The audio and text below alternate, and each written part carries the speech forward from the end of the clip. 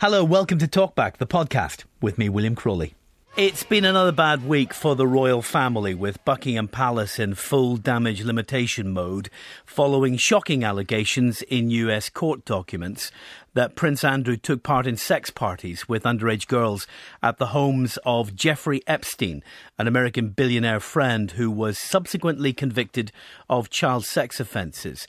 Yesterday, the Duke of York, who strongly denies those allegations, returned from a ski holiday in Switzerland, where he'd been staying in a luxury chalet costing £22,000 a week.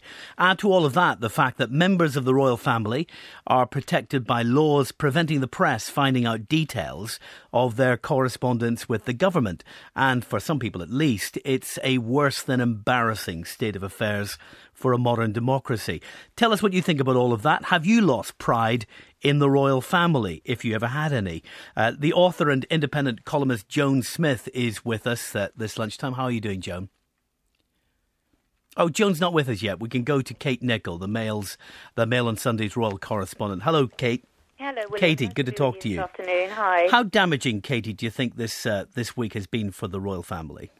Well, look, you know, it, it's been a great week for Republicans. I'll put it that way. Um, and yeah, it has been very damaging. Um, it, it's it's not the news that the royal family would have wanted 2015 to kick off with.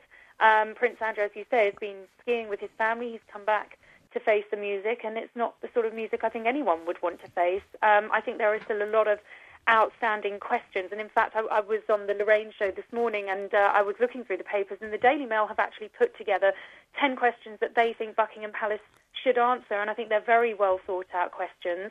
But, but as, you, as you pointed out in, in, in, your, um, in your little bit before, you know, this is a royal family who are exempt from the freedom of information. They don't have to answer questions that they don't want to answer.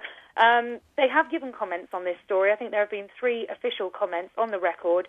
They've said there will not be any more. And that's pretty Um, unprecedented in itself, isn't it? Well, it is. It it is unprecedented. Um, and I think that does show we're not just getting a standard brush off with a no comment, which I think in the old days is something that we might have expected. well, it also shows they're firefighting. Listen, there is absolutely a firefighting um, operation in process. I mean, look, let's remember that um, Prince Andrew has denied these allegations. In this country, we are innocent until we're proven guilty. Um, but you're, you're absolutely right. The, the, the, the PR machine at the palace, which is a very powerful, very clever, very dynamic machine, is in full swing, and, and there's no argument about that. Joan Smith, as I say, is the independent columnist. Her new book is titled Down with the Royals, which, Joan, gives us a sense of your perspective on this. It does, yes.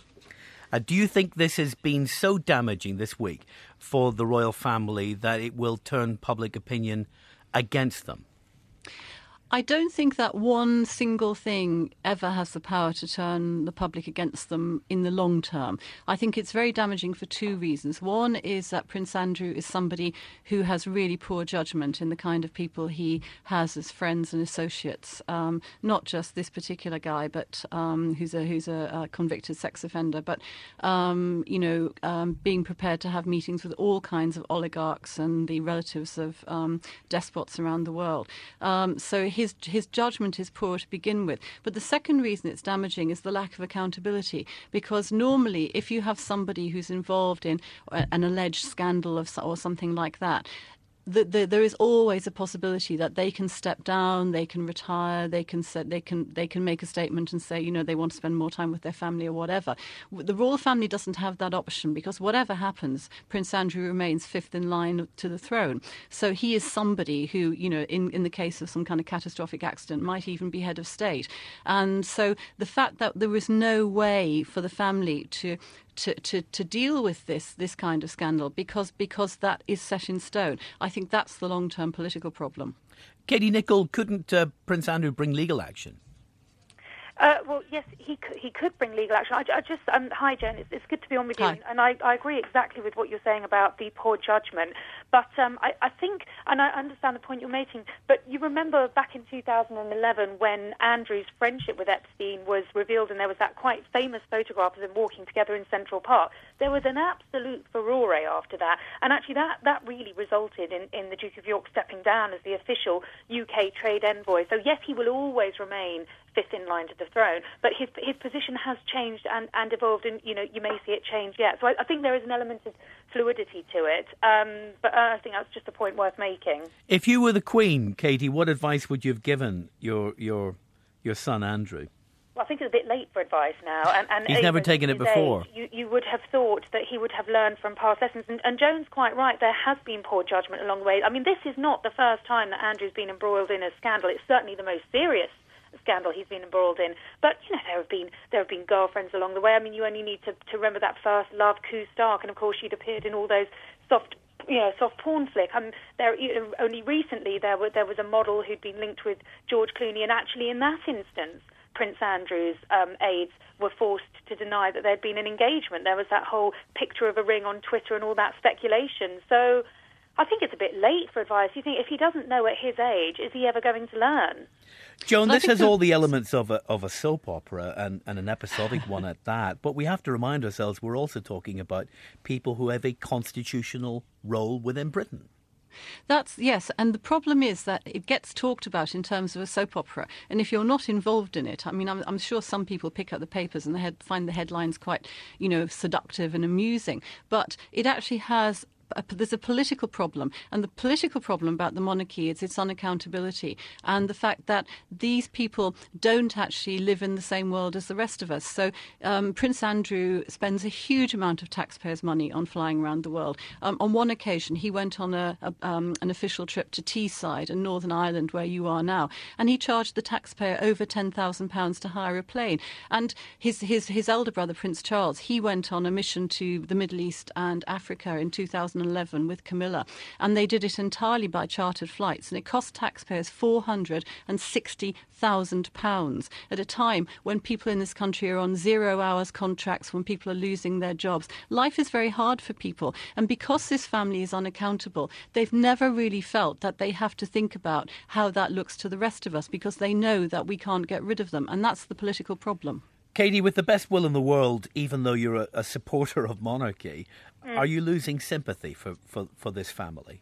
Uh, no, I'm not, I'm not. I'm not losing sympathy, and I think Joan's right in that it, it, it's going to take more than one episode to, to lose entire sympathy. And I think you only need to look at the Queen, and, and I think she has done amazing work. I mean, it's this September, isn't it, that, that she will I think, privately celebrate, because I don't know whether there are plans for a national celebration, that she, she will succeed Queen Victoria as the longest serving monarch. And I, I think there's a huge amount to celebrate uh, about this family, and you know that we'll always have the, the monarchists versus the Republicans over how relevant they are.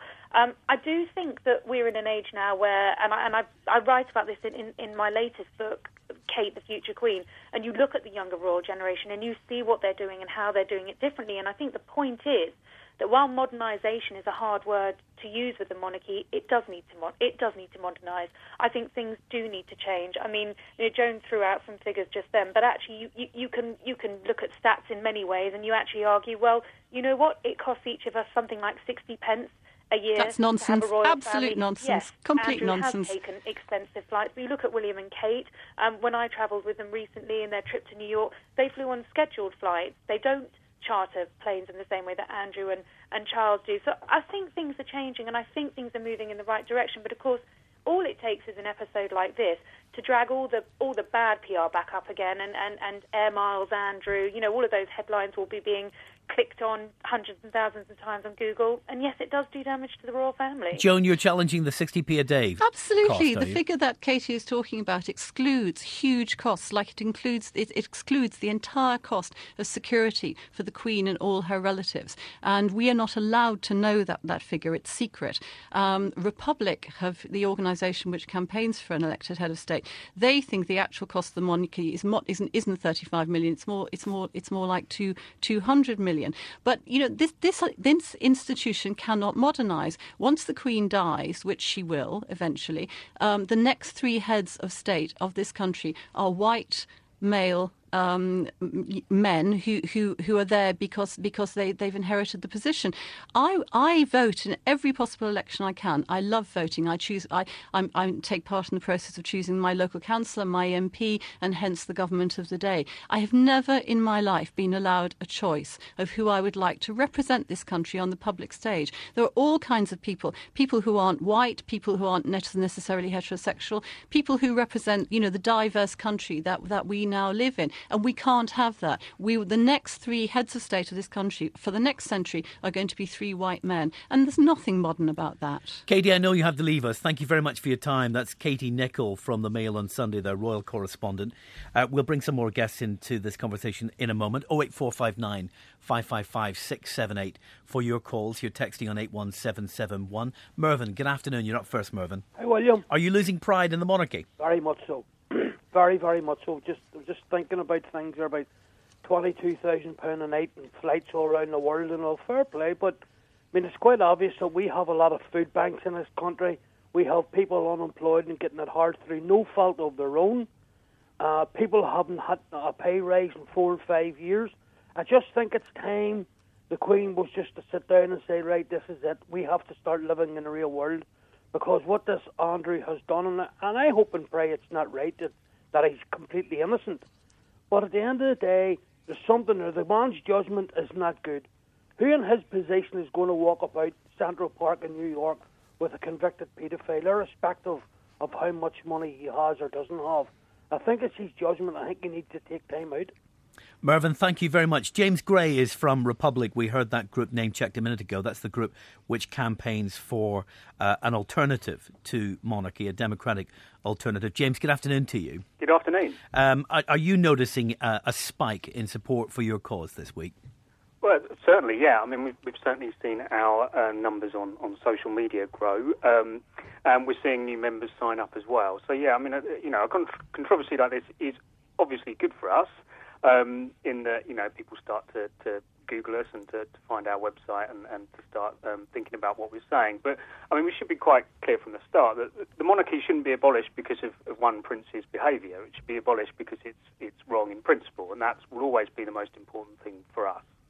There's a financial question in the minds of many people texting us. James, you want to respond to some of this? Um, Mark and Derry says uh, 22 grand a week for a holiday is disgusting. It's time to abolish these freeloaders. I'm afraid I can't come on air today as I am working, unlike the monarchy. Sure. I mean, the, the British monarchy is one of the most wasteful and extravagant institutions in the world. Um, Joan Smith was absolutely right that um, the official costs that they come out with um, every summer exclude all kinds of costs, and they do this deliberately. I mean, it's, it's a piece of, of very deceitful um, um, spin. Um, we're actually looking at a figure of, of more like 300, actually. So Joan was um, was slightly off there. It's more like 300 million a year when you include all those extra costs, and and this is something that, that the British public just aren't told. Doesn't the um, monarchy bring in a lot of money as well? That's what we're no, told. There's, Tourism, there's no evidence for that. Um, there's no way that the monarchy can can bring in money. I mean, sometimes people talk about tourism, but actually um, royal attractions are way down on the list for most tourists. I mean, even uh, Visit Britain, the um, the tourist agency, has said, look, there's absolutely no evidence at all that if you got rid of the monarchy, it would affect the, the tourism negatively. In fact, it might even have a positive effect because places like Buckingham Palace would be open all year round rather than just a few weeks when, when the Queen's in uh, in Balmoral. So it's the buildings that bring in the money rather than people in the buildings. It's, it's the buildings, it's the history, it's the heritage. You know, people are interested in, in the history of monarchy. That's absolutely fine and many Republicans are as well. Um, that that's not an issue. But but you're right. It's not the people who happen to be in there on a particular day. Um, you know, tourists aren't coming here because they might uh, catch a, a, glimpse of Prince Andrew. They're coming here because of, of all the other amazing things that, that every part of the UK has to offer. This this question of tourism is very very interesting because it's the argument that's most often made that they that the royal family brings tourists to this country. The country in the world which has the most tourists is France, which has been a, a republic for nearly 150 years. France gets roughly 89 million tourists a year, and the UK gets about 30 million. And there are only two monarchies in the top 10 countries in the world, according to the UN World Tourist Organization. Only two monarchies appear in the top 10 most visited countries in the world. So I think you can see that this is actually a myth. Mick Norman says the royal family should be given vouchers as they are the biggest welfare scroungers in the country. Florence, good afternoon to you. Good afternoon, William. Hi, Florence. Are you losing pride in the royal family? No. I would never lose pride in my royal family. Simply because we have the most conscientious and loyal woman sitting on our throne. And, and that's the view of a lot of people that no matter what Prince Andrew might or might not have done over the years, uh, the Queen is a separate case, Florence. Yes, the Queen, like any other mother, cannot be held responsible for what their children grow up to do. How do you feel about Prince Andrew today? The way I felt about him yesterday. No change at all. No change at all. And the stories coming back about his friendship with uh, with a man convicted of child sexual offences and continuing that friendship with him afterwards. That doesn't change your perspective on him. No, William. At the end of the day, we all pick up friends as we go along through life. Some good, some indifferent for us. But you can't always be judged on what friends do. Florence, thank you very much. Raymond, hi. Good afternoon, William. Good afternoon, Raymond. What, what, what is your take on this? Well, now, you see, whenever you are getting people on to talk, yeah. you know what you want to do? See those couple before that lady there? If it was me, I would be saying to them before they get started, right? Excuse me, what record have you of fighting in wars? The like of, uh, you mentioned this guy flying all over the world costing away a lot of money. Uh, how much did it cost him for, for to fly a helicopter around the Falkland Islands during the war? Was any of them was any of them uh, in any wars or anything? These people that make the well, we'll put that point to Joan Smith. Joan, that's the other side of the story. Um, I think that's complete nonsense, and it's, it's actually a free speech. It's a free speech issue, you see, because because those of us who oppose an, a, a, a, a, hereditary monarchy have as much right to make our case as the people who are who, who are in favour of it. I, I don't suggest that this gentleman shouldn't come on the radio and talk about his views, but we are entitled to make a political case about why we should have an elected head of state. Raymond, thank you very much. We can also. Me, William. Oh, okay, go ahead, Raymond. Before you go. Yeah, go ahead. I would like to point it out to The, the gist of all this nonsense that.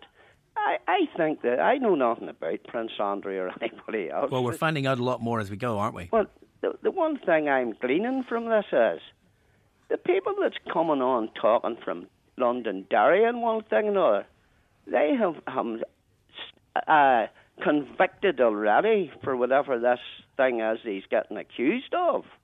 I don't think we've had anybody on from Londonderry. Oh, there was a guy from Londonderry who was on. I'm not sure, Raymond, but thank you very much, and thanks for the interviewing advice. Much appreciated.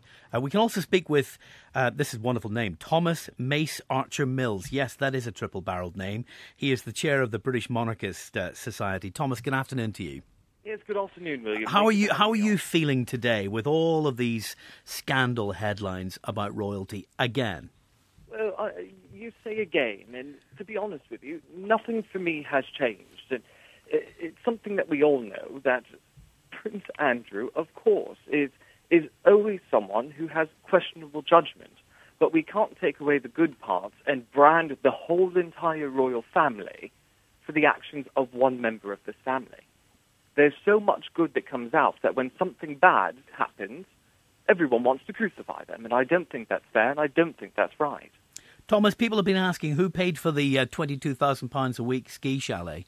Well, the £22,000 would be a mixed match depending on, of course, the question will come up about royal security. But a lot of the families, well, a lot of the members of the family, when they go on holiday, have to pay their own way. When the Queen wanted to go on holiday to the islands in Scotland, she chartered a yacht because we don't have one for her anymore. So she paid out of her private money to take her family on a fortnight jaunt around the Scottish Isles. Members of the royal family do have to pay a lot of their own expenses. Where did they get the money from, Thomas?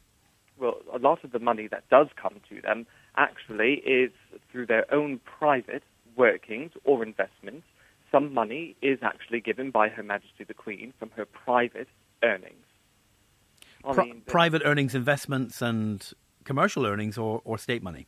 Well, no. State money goes to the palace. That's, it goes to be distributed for the various different areas of which are, a, are official engagements, uh, official travel, official things which actually pertain to the palace and the people supporting Her Majesty in her capacity as the head of state of the United Kingdom of Great Britain and Northern Ireland.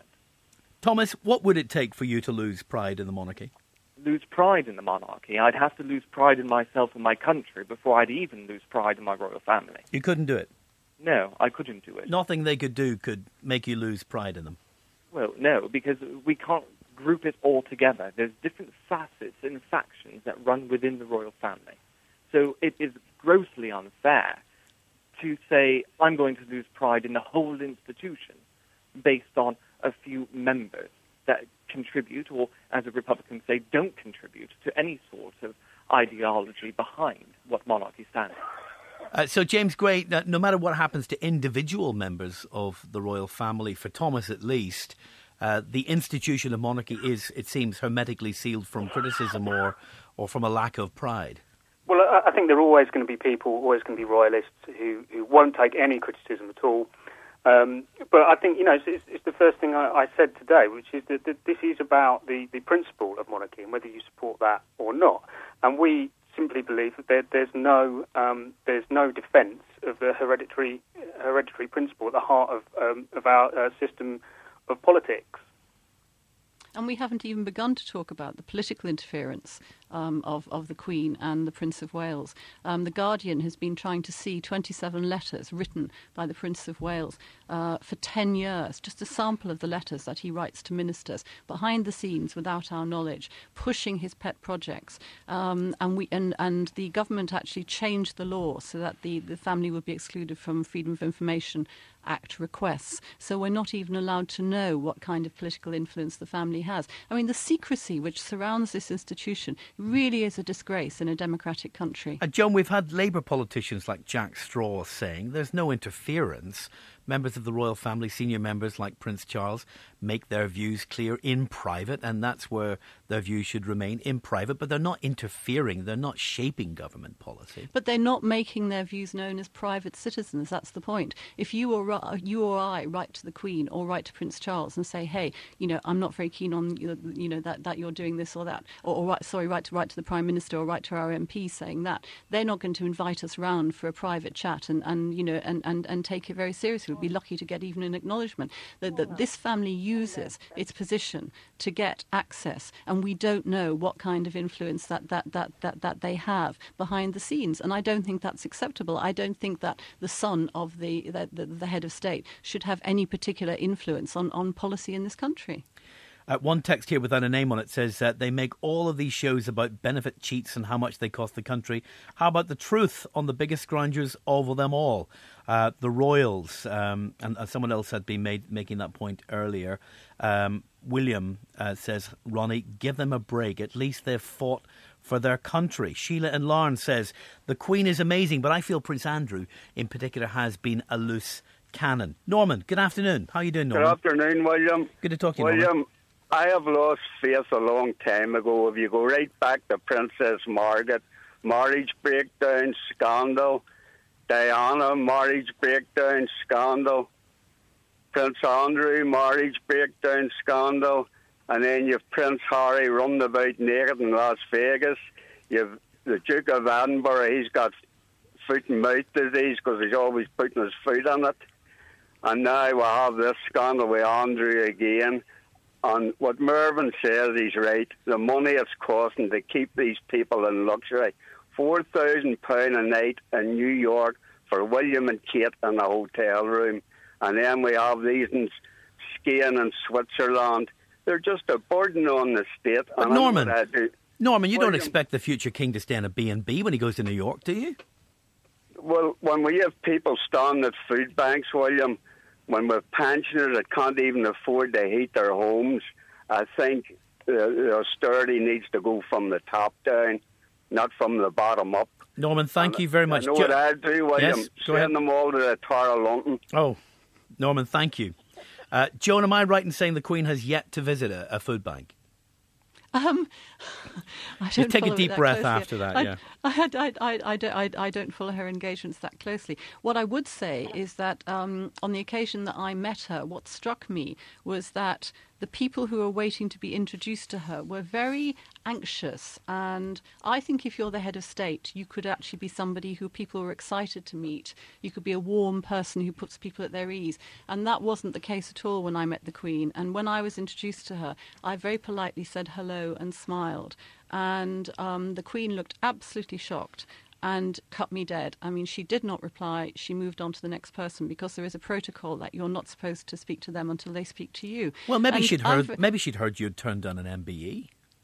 Well, but even so, uh, I didn't ask to have her as my head of state, but she is, and so therefore she has to be. She has to be. If she if she accepts the role of head of state, she has to be the head of state for everybody, whether she likes our political views or not. Yes, I turned down an MBE. I don't like the honour system as it stands, but I am a citizen of this country. I'm proud of this country, and I would like a head of state who was actually polite to me as I was to her, and actually represented my values, which are democratic and about equality and fairness. And I think it's really it's really interesting that some of your callers are bringing up this question of things like food banks because it is shocking to me that at a time when when all over the UK food banks are, sp- are springing up, people are worrying about how they're going to feed their children. Instead of having just a head of state, you know, uh, you know, who who goes to, uh, and, and represents us abroad and maybe takes a spouse or a partner or whatever, and that's all we have to pay for. We're having to pay for this whole edifice of the family. It's ridiculous. Oh wait, four five nine five five five six seven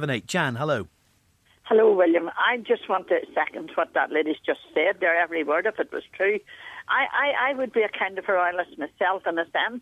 But I mean, the money that they destroy is unbelievable. And you're talking there again about uh, MBEs and what I hate the word.